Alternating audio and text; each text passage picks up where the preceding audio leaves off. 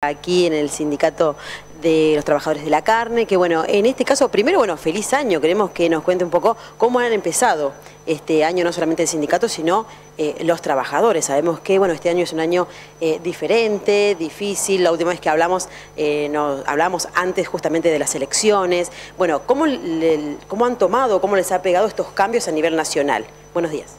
Bueno, buenos días, agradecerle a ustedes por estar siempre presentes. La verdad que ha sido un año positivo el que terminamos, pero el que arrancamos ha sido y es un año muy preocupante, donde no podemos dejar de pasar los aumentos desmedidos y creo que también el aprovechamiento del sector empresario, el sector alimenticio, eh, al no haber un control de precio, cada cual cobra lo que le parece y preocupado, preocupado por todo lo que está pasando en el país. Pero no vamos a hablar por ahí de política, porque si no va a decir, pero ¿por qué es peronista habla de este? Porque es libertario. Lo que pasa es que después eh, no resisten un archivo, porque bien se decía, ¿no? Que esto era diferente, que la casta, y vemos que la casta sigue presente, y la casta es la que menos sufre, y la que sufre es la clase trabajadora.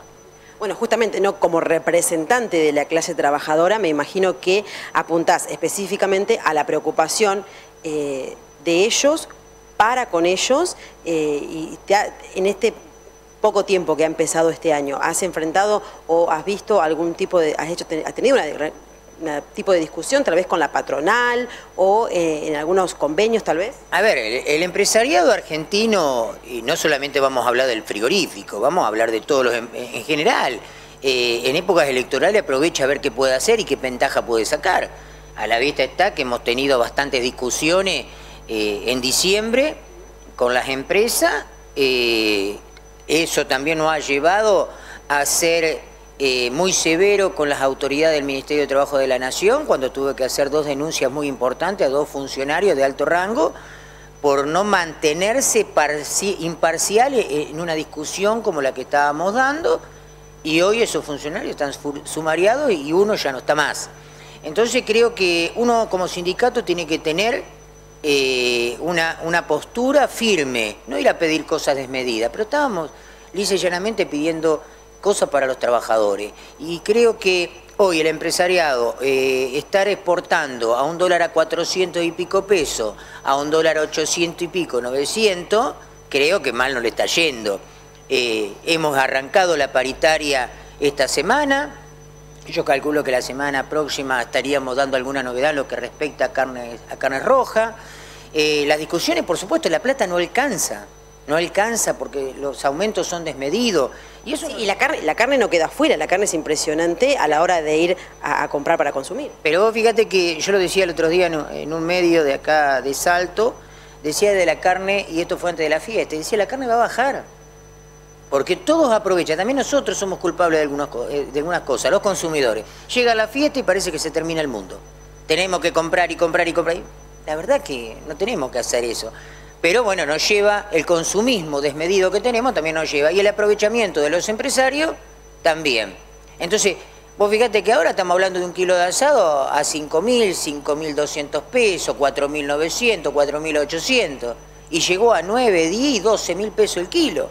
Entonces, al bajar el consumo, también tienen que salir a, a bajar un poco los precios. Esto también lleva al aprovechamiento, al no haber un límite, al no tener límite cobran cualquier cosa. Eh, se viene el 24, el 24 es una fecha importante. Eh, ¿Cuál es la postura que va a tomar el sindicato de los trabajadores? El sindicato de la carne va a tomar la postura porque hoy están tocando los intereses de los trabajadores. Cuando algunos opinan, nada, porque los sindicalistas. A mí la verdad que las medidas que pueda llegar a tomar o, lo que mandó mi ley a mí no me preocupa, porque este sindicato ha sido siempre ordenado. Este sindicato las cosas que ha sacado, las ha sacado en la justicia, no de, de malevo, vamos, paramos, rompemos y que nos den eso. Siempre lo hemos hecho dentro de la justicia, dentro del marco legal como corresponde. Lógicamente, ahora nos preocupa el avasallamiento que tiene hacia los trabajadores. ¿Por qué? Porque muchos creen o quieren que le demos cátedra. No, lean el DNU y van a ver, eh, hay muchos, mucho, pero muchísimos puntos que están mal. Entonces, ¿qué hay que discutirlo? Hay que discutirlo, somos conscientes de eso, pero en el lugar que corresponde, no mandar un DNU y vamos por todo.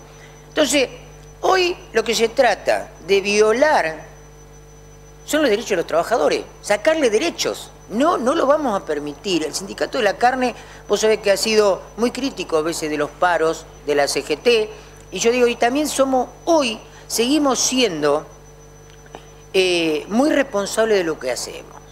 ¿Por qué? Y yo te digo por qué, porque hablamos el paro el 24. Tenemos que movilizar. Ahora bien, ¿para qué estamos los dirigentes? ¿Para qué están las comisiones internas? ¿Para qué están el cuerpo de delegado? Nosotros parar hoy también tenemos que ser conscientes que no nos podemos hacer el perón con la billetera de los trabajadores. Entonces, llegar a parar hoy significa que el trabajador pierde premio, pierde día de trabajo, horas extra que la mayoría está haciendo. Entonces estamos, lo estamos evaluando, estamos hablando. El sindicato sí va a salir a la calle, el sindicato de la carne de Salto, sindicato de, de Colón, el cual me toca también conducir. Vamos a salir a la calle el 24, vamos a estar en Buenos Aires haciendo oír nuestro reclamo que todo es discutible, pero en el órgano que corresponde, no de esta manera. No estamos de acuerdo. Libertad es una cosa, pero libertinaje es otra. Tratar de, violar los derechos de los trabajadores, eso no es la libertad que estaban expresando y que muchos votaron. Y soy respetuoso, el pueblo lo votó, pero no es lo que se dice, porque acá hay que decir la realidad como son. Hay fuerzas políticas que realmente dentro de los libertarios también tienen mucho odio, como Patricia Bullrich, como los Macri, como... hay un montón. Entonces creo que esto hay que discutirlo en el ámbito que corresponda. Para eso está el Congreso, para rediscutir estas cosas. Lo que no podemos dejar pasar es decir, no salir a la calle. El 24 el sindicato con toda su gente va a salir a la calle. Pero no en Salto, porque Salto pasa desapercibido, nadie lo tiene en cuenta, los pueblos chicos, nadie lo tiene en cuenta. Vamos a ir a donde tenemos que estar todos. Y los primeros que tenemos que poner la cara, poner el pecho y poner lo que hay que poner somos los dirigentes gremiales, los activistas, los delegados paritarios, esos son los primeros que tienen que estar en la fila. Si nosotros paramos las empresas en Salto, vamos a llevar los 1.500 que tenemos acá en Salto, no los vamos a llevar a Buenos Aires entonces, ¿para qué vamos a, parar si no vamos a hacer una medida en concreta? O sea, la empresa no para. Eh, lo estamos evaluando. Estamos buscando a ver cómo vamos a hacer, pero tampoco hacer lo que muchos acostumbran o que dicen, no, trabajamos, no sé, seis, horas en la semana para recuperar. No, eso no es paro. Entonces tampoco tenemos que engañarnos. Yo siempre hablé de frente. Hoy evalúo un montón de cosas, porque si decimos que los salarios de los trabajadores están bajos, pero lo hacemos perder días. Esto es como decir, viste, cuando se hacen el reclamo, estamos pasando hambre y ve algunos que están excedidos de peso y dice, ¿qué, qué, hambre pasan? Entonces, tenemos que ser conscientes, muy responsables de las acciones que tomamos. Y eso es lo importante. El sindicato de Salto siempre ha tenido responsabilidad en lo laboral. Entonces, siempre llevamos las medidas de la... Y esto, algunos de Salto que por ahí salen a opinar, decir, ah, esto para los sindicalistas. La verdad que a mí no me hace nada lo que pueda intentar mi ley. El sindicato de Salto cumple con todo lo que la ley manda. A lo mejor tienen que preocuparse sindicatos que, bueno, por orden o por uso y costumbre hacen algunas cosas que no están dentro de la ley. Pero el sindicato de Salto no tiene nada que preocuparse. Y este dirigente gremial menos. Está muy tranquilo y dispuesto a dar, a dar la pelea que, tiene que se tiene que dar. Y se tiene que dar en la calle. Pero si tenemos, esto creo que este 24 va a ser histórico. La Federación de la Carne va a movilizar más de 1.500 personas. Y eso es importante, es demostrar la fuerza. Y tenemos más para mostrar. Por eso yo creo que uno tiene que ser ordenado, responsable y tiene que tener una visión de cómo empieza esto y no se sabe cómo termina. Y todo va a depender que el gobierno también entienda que se tiene que sentar en el Congreso que no es una ley ómnibus, vamos al libro cerrado y aprobamos todo. Se terminó eso. Porque si hablábamos de libertad, bueno, me parece que le estamos ahorrando la libertad. Entonces creo que esas son las cosas que tenemos que tener en claro. El sindicato de Salto, el sindicato de Colón, provincia de Buenos Aires, va a estar el 24 presente, pero como digo siempre, los primeros son los dirigentes gremiales. Lo decía Perón, ¿no? Con los dirigentes a la cabeza o con la cabeza a los dirigentes. Em, Miguel, eh, ¿están también abiertos al diálogo en el caso de que exista esa posibilidad con Nación? Se lo hemos demostrado, eh, cada diputado, eh, cada senador, todos están dispuestos a colaborar en una mesa de diálogo, a trabajar y revisar todo. Acá lo que se intenta, y lo que intentó, y lo dejó a las claras, es decir, mediante un DNU vamos para adelante. Bueno, por eso también recibió el revés de la justicia, que pensamos que la verdad fue media lenta la justicia porque tendría que haber sido rápido, pero bueno, también entendemos que están de feria, que había un montón de cosas que, había que, eh, que hay que resaltarlas. Pero bueno, yo creo que en esta todos coincidimos de una forma y otra, y también aquel que lo votó a este gobierno, hoy ya no piensa lo mismo. ¿Por qué? Porque se metió con la comida de los trabajadores. Cuando vos, está todo bien, podemos discutir eh, si aumentamos o no aumentamos un impuesto, pero cuando vos te metés con, con la comida del trabajador, la cosa cambia. El pueblo tiene paciencia, pero también se, vuelve a veces un poco rebelde porque la plata no alcanza. Si en Salto vemos hoy el Parati, siendo que Salto es una ciudad donde hay mucha fuente de trabajo, hay trabajo, no hay desocupación. En Salto no hay desocupación. Eso lo tenemos que resaltar siempre, no hay desocupación. Y se nota, te imaginas, lo que yo no había visto y últimamente lo estoy viendo comer mucha gente de la basura, que se había dejado de ver eso y es lamentable, pero lo estamos viendo cada día más. En Salto no se ve, no hay, no hay la miseria que, que hay en Buenos Aires y hay en otras provincias. La verdad que Salto debemos ser agradecidos primeramente por las empresas que hay y que apuestan a Salto. Pero eso guarda, que uno diga, reconoce el esfuerzo y las cosas importantes que hace la empresa, guarda, tampoco le damos la derecha para hacer lo que quiere. Por lo pronto entonces, el sindicato va a estar presente junto con su gente y en el caso de que un trabajador o un grupo de trabajadores decidan bueno, parar, no ir ese día a trabajar, eh, ¿cómo, ¿cómo, se va la mediación? Eso es lo que estamos haciendo. Si un trabajador quiere parar, no, o sea, estamos de acuerdo, pero yo no puedo tomar una decisión eh, de una, decir, no, paro. Y el trabajo me va a decir, che, pero yo pierdo el día de trabajo, pierdo... Porque primero que te... Hoy, lo primero que te dice el trabajo, ¿y yo qué pierdo? Y yo le tengo que decir la verdad, no lo puedo engañar. No puedo ir a hacer como en su momento se hacían las cosas. No, hoy tenemos que pensar diferente, tenemos que consensuar con los trabajadores. Si los trabajadores, si trabajadores quieren ir, por supuesto, mejor todavía pero hay, hay cosas que hay que agotar recursos cuando se crea necesario. Esto es el principio. Si entiende que hay que readecuar la situación y empezar a rediscutir todo lo que se pretende, podemos avanzar. Y si no, tenemos que redoblar la apuesta. Pero hoy eh, tenemos que escuchar a los trabajadores realmente. No, va a ser una decisión arbitraria del sindicato. El sindicato, yo no voy a tomar una decisión, decir acá no se trabaja, cierran las empresas porque todo me pregunta Miguel, ¿y qué perdemos? Esto, esto y esto. Pues tengo que decir la verdad, porque si no, son decisiones arbitrarias que se toman. Y la verdad que parar 1.500 trabajadores en Salto y cada uno a su casa, no. O vamos los 1.500 a Buenos Aires a estar en la calle como corresponde y a las 11 de la mañana va a empezar la movilización. Entonces, creo que tenemos que ser responsables en las actitudes que nosotros tomamos. Así que estamos reevaluando, evaluando todo, todo. Eh, se dice o se decía en algún momento que era probable que el presidente de la Nación eh, decretara ese día como día feriado. ¿Eso sería eh, una estrategia? Y son, son estrategias políticas, por supuesto. Cada político tiene una estrategia diferente con tal de salvarse. No sé, yo a mí, del presidente hoy que está, yo no lo voté, gracias a Dios, ni ni jamás. Me puedo enojar con el peronismo, puedo renegar y soy muy crítico del peronismo, porque también hay cuestiones que tenemos que hacernos cargo, que si perdimos, no perdimos por uno solo, perdimos por todo, porque todos son responsables de alguna forma. Y en Salta también quedó demostrado que no pasa por una persona que, que perdió masa. Acá todo, del primero hasta el último, hay que buscar responsables. Lo que hay que saber hacer es una autocrítica para adentro, qué es lo que hicimos mal y que hicimos cosas mal, las hicimos. No nos podemos mirar para otro lado que acá no pasó nada. No, Todos son responsables de alguna manera.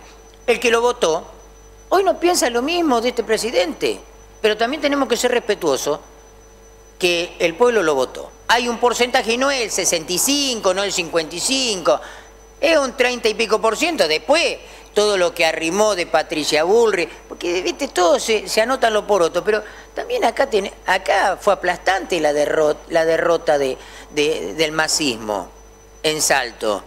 Entonces son responsables todos, ¿no? No como se intentó decir que había un responsable que habíamos perdido, que se había ido de viaje. No, no, no, no lo echemos. El que busca excusa, porque es un cobarde, no da nunca la cara. Entonces hay que hacerse responsable, que hicimos algunas cosas mal, hay que reevaluar el peronismo y hay que volver a formar cuadros, porque el peronismo cree que lo manejan dos o tres caudillos. No, no, no, no. El peronismo se tiene que readecuar, tiene que renovarse y tiene que, hacer lo que se hablaba, el que dijo Perón, el trabajamiento poder generacional. Eso es lo que se tiene que trabajar, en renovar. ¿Qué hicimos por los jóvenes?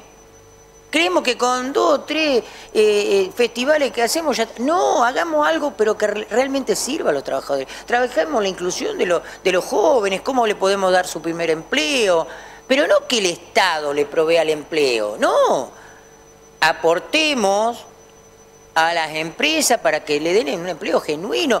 Basta, basta de que el Estado sea la gran empresa argentina. Entonces tenemos que reevaluar un montón de cuestiones y a lo mejor alguno son más papistas que el Papa, no lo dicen. Bueno, hay que ser autocrítico de su propio espacio.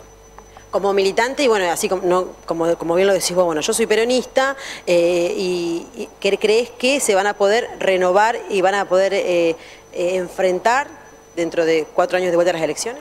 Por supuesto, todo va, va a depender qué es lo que haga el peronismo.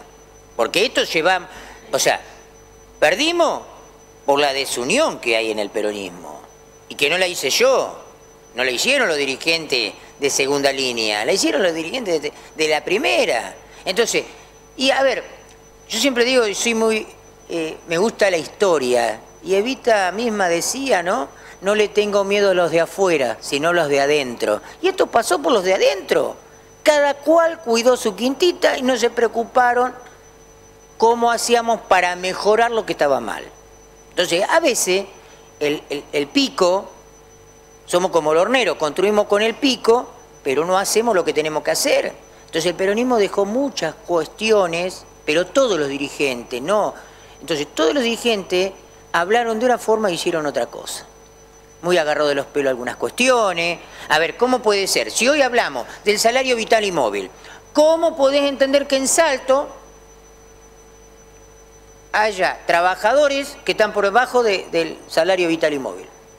¿Cómo podés entender que un trabajador esté ganando 70 mil pesos mensuales? Un trabajador de la salud, por ejemplo. Un trabajador municipal. ¿Cómo puede ser eso? Y somos gobierno peronista. ¿Cómo podemos mejorar? Hay que trabajar. Entonces, ¿por qué los desorbitantes sueldos de los funcionarios públicos? De los funcionarios políticos. De eso no se habla. A ver, si tenemos que hacer un esforcito todo, ¿por qué no nos bajamos el sueldo? ¿Por qué no hacemos lo que realmente tengamos que hacer? Hagamos recorte, pero hagamos recorte de la planta política. No hagamos el recorte que siempre impacte en el bolsillo del más, del más débil, que son los trabajadores. Hoy todos lo sabemos, yo no me voy a poner colorado y que se enoje quien se enoje, pero en Salto un empleo municipal está 70, 80 mil pesos. ¿Puede vivir un empleado municipal? Yo la verdad que lo idolatro, porque no sé cómo hace para vivir con 70, 80 mil pesos, cuando hay trabajadores municipales que alquilan, cuando trabajan las enfermeras mismas. Entonces, tan bajo los sueldos. Muchachos, pongámonos a trabajar.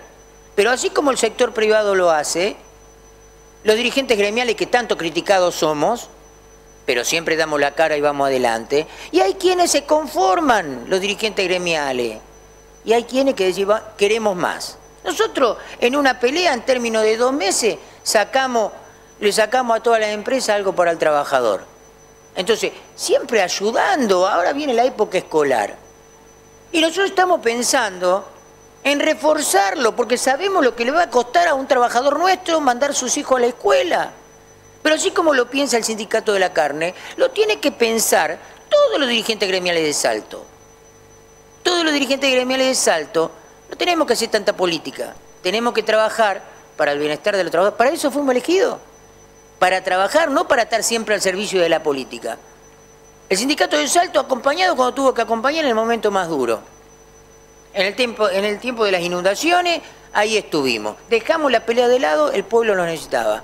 En el tema de cuando vino la pandemia, listo, necesitábamos cuidarnos mutuamente y ahí estuvimos todos. Ahora, después yo no estoy al servicio de la política. Nosotros avanzamos. Y avanzamos, y yo siempre resalto lo mismo, avanzamos con nuestros propios aportes. No tenemos ayuda de ningún lado. Y sin embargo el sindicato de Salto nunca ha dejado de respaldar a sus trabajadores, nunca ha dejado de darle lo que se merecen los trabajadores y siempre trabajando cómo podemos mejorarlo. Bueno, esa es la tarea que tenemos que llevar adelante los, los dirigentes gremiales y no estar a disposición o ser siervo de los políticos. Bueno, Miguel, por último entonces, el 24 acompañarán en la calle eh, esta eh, protesta o este reclamo en contra del de, eh, la ley ómnibus del presidente de la Nación. Sí, este 24 vamos a estar diciéndole no al presidente de la Nación y que se abra el diálogo y se rediscuta todo, que dejemos todo de lado y vamos a empezar de cero de vuelta, pero a rediscutir cosas que realmente no violen los derechos. Si hay cosas que, si por ahí hablamos del registro del automotor, y bueno, la verdad que el registro del automotor es, una caja de Pandora, eh, basta de esas cosas, pero eh, los trabajadores no se tocan, el país no se vende, no podemos vender todo, no, nos costó mucho sacrificio. ¿Saben qué? A veces cuando se privatiza, el que paga el pato es el pueblo. El pueblo lo paga al reajuste. La casta no la, no la, no la paga nunca. Y esto era el cambio de la casta. Resulta que está la misma. La misma casta que decían que iban a sacar están adentro. Entonces todo verso. Pero bueno, los relatos se caen. Muchas gracias. Muchas gracias.